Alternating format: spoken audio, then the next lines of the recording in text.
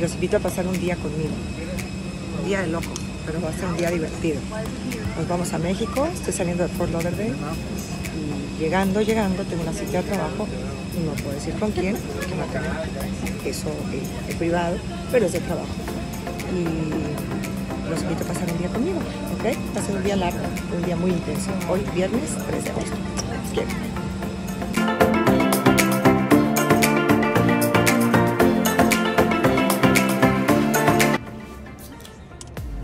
Bueno, pues ya estoy este, maquillada, ahora sí, y este, ya estamos en muy buen tiempo, ahí la llevamos. Nada más ahorita eh, voy a cambiar los zapatos porque yo no que viaje en tacones. Quiero viajar con estilacho, pero cómodo. Y ya vamos a poner los tacones. Ok. Estamos,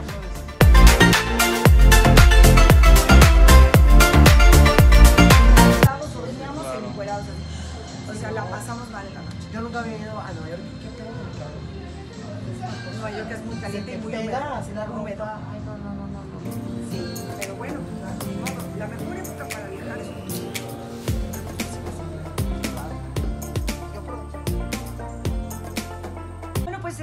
estoy haciendo varias cosas, gracias a Dios. Bueno, terminó Mi Familia Perfecta por Telemundo, increíble. Y ahora eh, estoy empezando los ensayos de una nueva puesta en escena. Nos vamos a ir de gira. Me da una pena espantosa no poderte decir el nombre del elenco. Solo te po- ¿Por qué? Pues porque es Gabriel Varela, nuestro productor, el que tiene que destapar la olla para ver cuál es el, el- el- el platillo, ¿no? Principal. Entonces, eh, vamos a hacer una gira muy interesante, es una puesta en escena muy divertida, con grandes actrices, la verdad es que el elenco está muy padre. Y vamos a hacer gira empezando a la primera semana de octubre, empezamos gira en México, vamos a empezar en Monterrey, si mal no recuerdo. Entonces vamos a estar por México y por los Estados Unidos. En televisión, algo aquí en la tele, porque también de pronto pues, te extrañamos de los Sí, canales nacionales. Yo también me extraño en la tele en México. Entonces, bueno, hay mucho acercamiento con las televisoras, con Imagen, con Azteca, con Entonces, vamos a ver este, qué, qué es lo que surge de todo este acercamiento que ha habido y todas estas propuestas que han habido. Oye, ya todas nos tienes impactada. Eres un ejemplo de mujer a seguir en todos los sentidos y ahorita me refiero a tu físico, la verdad. Que estás. No, bueno, Bárbara, veo las fotos que me enseñaron unas fotos de un shooting que te tomaron. ¡Ah, las viste! Guapa te ves. ¿Viste las que no pueden salir Sí, también? las Esas que no pueden salir. sí. Muchas gracias. ¿fue por decisión propia o, o ya nos platicas un poquito? Bueno, esas fotos me las tomé para mí, esas no van a salir publicadas jamás. Egoteca. Esta es para la egoteca de la casa y se lo dije a mi hija porque me dijo, "Ay, mamá, dije, esas son para mí, mamacita. Para poner ahí a los 54 años yo me hice este estudio así. Entonces sí, este es prácticamente un, un medio desnudo, semidesnudo. Sí. Este, pero está- están muy lindas, no. Se trata de publicarlas, lo hice para mí, pero eh, la verdad es que agradezco mucho que, que- me preguntes, porque creo que las mujeres tenemos una obligación moral con nosotras mismas. El ser humano tiene que cuidarse. Entonces, cada quien sabe qué tan apasionado es, pero yo cuido mucho mi manera de comer y mi manera de vivir, porque si yo no estoy sana, ¿qué les puedo ofrecer?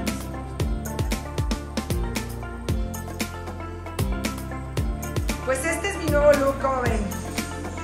Inventos maravillosos. Marcelo ya se nos escondió, pero ellos son los creadores de todo esto. Inventamos un look y sí, me corté el pelo. ¿Cómo? Yo quería otro look. Otro color, otro todo. Había que sacudirnos bien, bien, bien el personaje de Irma, porque sí me lo había aclarado un poco el pelo, pero no lo suficiente. Entonces, nos inventamos este fleco, pelo corto, todo. Y no se preocupe, por eso están los apliques pelo largo. Ahorita me voy corriendo a un evento que tengo que ya muy tarde.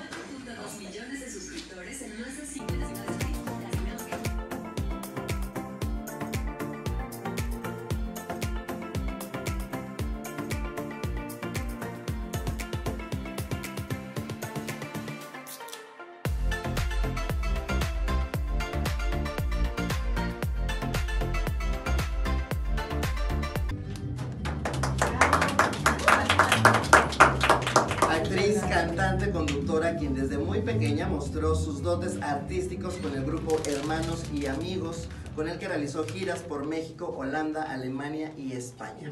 Su primera oportunidad de actuar fue en la telenovela El Combate, protagonizada por Ignacio López Tarso, y la música siempre estuvo ligada a ella. En 1980, el productor Luis de Llano le ofreció la oportunidad de cantar algunas canciones en inglés en el programa Noche a Noche con Verónica Castro. Su primer disco como solista, Barcos de Papel, la llevó a realizar giras por toda la República Mexicana. Además, ha grabado, otras exitosas producciones discográficas. En teatro ha participado en puestas en escena como Los Fantásticos, Nuestro Amor de Cada Día, Jesucristo Superestrella, Fausto, Sugar, Tenorio Cómico y Monólogos de la Vagina.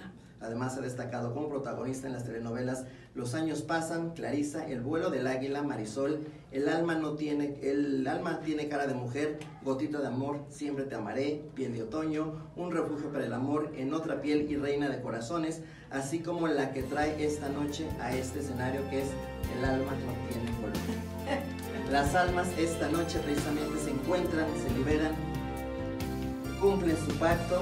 Gracias por ser nuestra luz. Gracias Laura Flores por acompañarnos en este escenario. Mira, eh, Edgar, Andrea, creo que con todo el cariño se los agradezco. Sin embargo, creo que en, particular y en este entorno y en este ambiente que tú creaste, Andrea querida, no me lo merezco porque creo que tú has, mostrado ese talento que, o sea, adueñarse de una atmósfera no es fácil.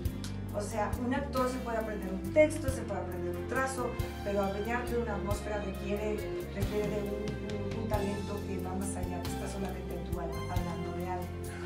Entonces realmente yo te felicito porque tienes el alma y tienes el corazón y la verdad es que es un concepto espectacular y una creatividad fuera de serie que, que ya quisiéramos muchos porque los actores siempre desarrollamos lo que el director nos. Y nosotros te agradecemos con esta carta en específico tiene secretos del alma, secretos que si quieres compartir con los compañeros de los medios de comunicación. Además, el crucifijo de Ana de Madrigal, Dios. para que lo puedas usar, que es este crucifijo. Muchas gracias. Ay, me puse chinita. Muchas gracias. Qué hermosura. Muchas, muchas, muchas, por muchas gracias. Si quieres compartir la. Sí, claro que sí, pero pues me tendré que poner los lentes, ¿verdad? Pongan atención, chicos. Vamos a aprender algo. Wow. Y dice así. Laura Flores, inquisidora de la Nueva España, presente, que me escuchara mi madre que era madrileña. Joder. Cuando el temor a Dios sobrepasa los límites de la verdad y lo justo, de lo razonable, de lo bueno y lo malo, y la justicia divina recae en la razón de la defensa cristiana bajo el parámetro del castigo mental y físico cruel y despiadado. La Inquisición emerge de entre esos límites, límites para castigar no solo al hereje, también al pígamo, a la bruja, al alquimista y al homosexual, entre otros.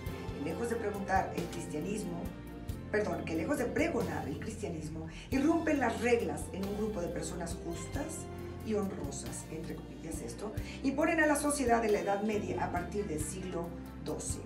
Apelo a usted, señora inquisidora, para que a través de su firme convicción, evitando los rumores, comunique que el corazón no manda, pero puede penar. Mi nombre es Ana de Madrigal eres todo lo que mi alma necesita. Te rendimos homenaje en esta micro obra que tiene alma y que gracias micro porque es corta, pero el micro no tiene nada. Que tiene alma y que gracias a tu luz seguirá palpitando más allá del tiempo y el espacio porque el alma no tiene color. Hagamos un pacto en el que los límites solo los pongas tú. Sé mi luz.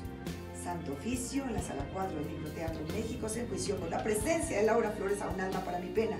Caso Sojuzgar de Edgar Estrada, con Aleida Gallardo y Andrea Lara, bajo la dirección de Cristian Magaloni y producción de Ricardo Chi y Carlos Mora, by Luke, Overlay and Brand.